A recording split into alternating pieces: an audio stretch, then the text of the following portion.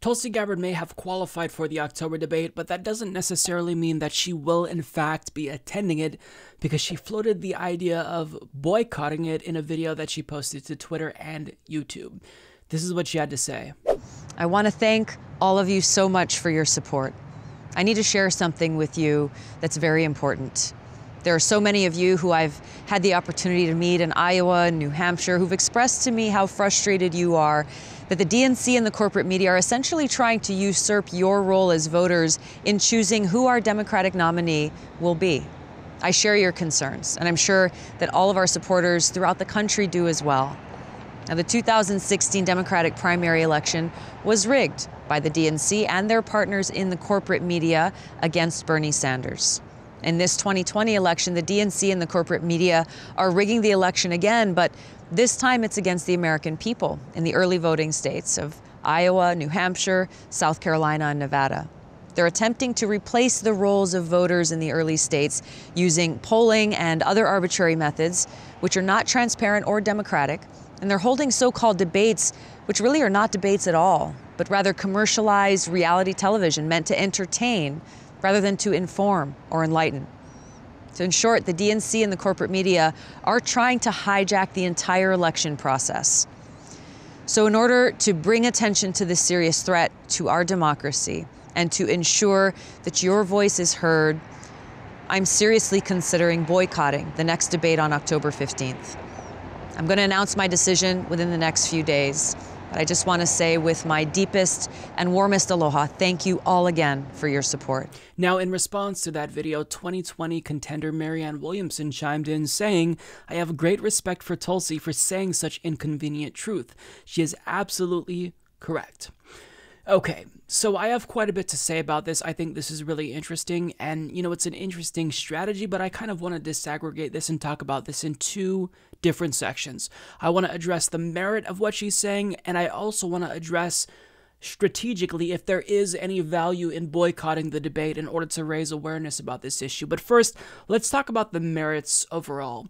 So I think that when she says that there are, or implies rather, that there are these institutional disadvantages, I do think that there's absolutely merit to that. Corporate media does choose winners and losers. I think that that's absolutely true.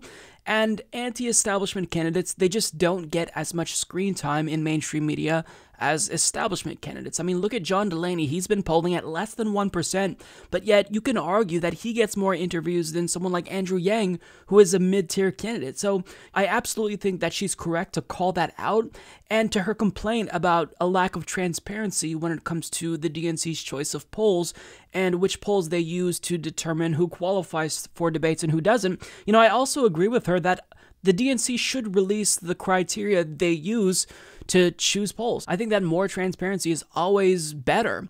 And I also have the same complaints about the debates that she does. Bernie Sanders said this, you know, in an interview with Joe Rogan. He said that these debates just aren't really formatted that well.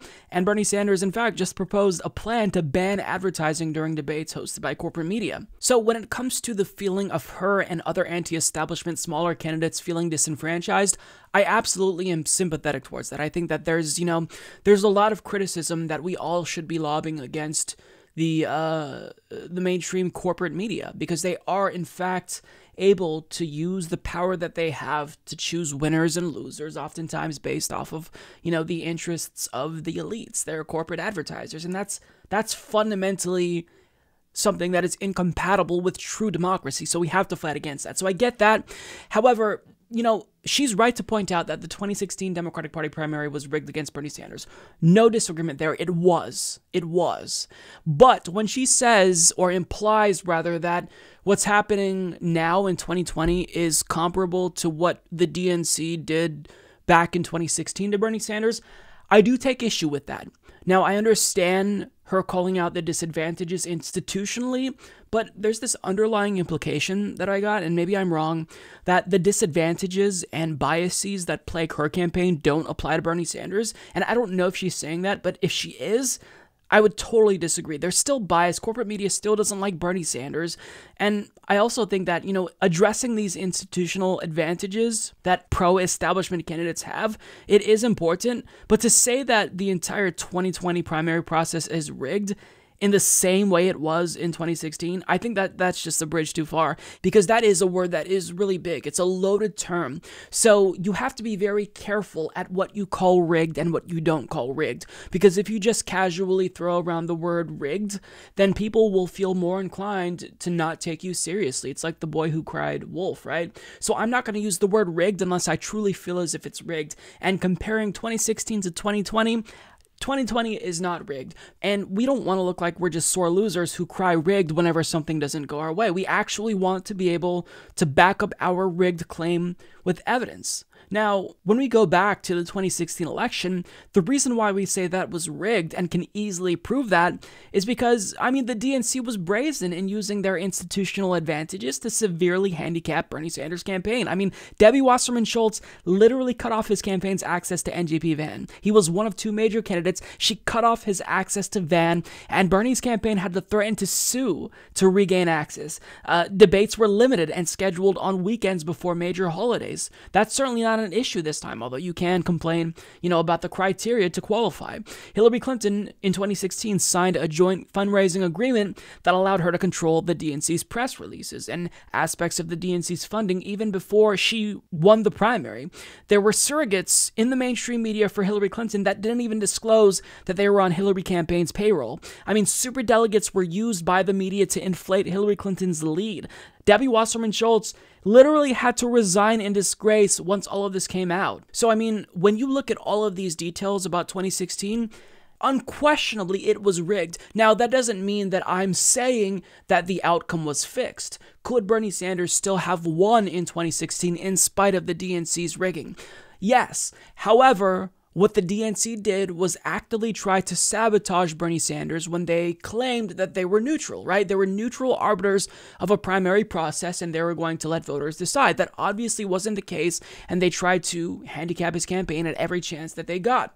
Now, you can argue about corporate media, you can argue that the DNC hasn't been transparent but that doesn't really mean that it's on the level of rigging. And I wouldn't use rigging for 2020. I think that in 2020, all the same institutional advantages that uh, pro establishment candidates have uh, continue to exist, but they're not actively trying to sabotage Bernie Sanders this time or smaller candidates. But you know, I do believe it's important that we draw attention to the way that smaller candidates, mostly anti establishment candidates, are disenfranchised. But to call it rigged, I just feel like that's not smart because we don't want people to stop taking us seriously. Like when we say rigged, we really have to mean it. And, uh, you know, you can say that certain aspects are unfair. Corporate media is absolutely trying to choose winners and losers, but it's not, it's not rigged in the way that it was in 2016. And for her to kind of imply, if I'm correct, that, you know, the same institutional biases that hurt Bernie, you know, that hurt her don't hurt Bernie. I just think that that's unfair. So, you know, I kind of I, I see where she's coming from. I understand why she and her supporters might feel disenfranchised, but I think you have to be a little bit more careful. Now, on top of that, let's get to the strategy of this. So, is boycotting a debate to draw attention to these disadvantages that smaller anti establishment candidates face? Is that a useful strategy?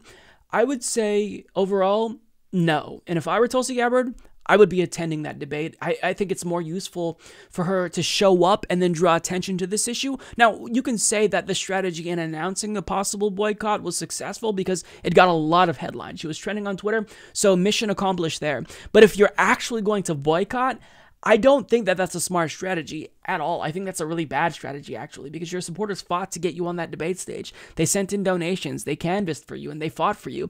So for you to say I'm not going to attend in protest of what I think is unfair, which, you know, you have a point that it's unfair to an extent, um, I just, I don't think that's a good strategy. Now, you can say that Donald Trump, you know, he used this strategy relatively effectively. But the difference is that Tulsi Gabbard is a small candidate and Donald Trump was polling in first place. So corporate media back in 2016 was really relying on Donald Trump to show up to these debates for ratings, and he knew that.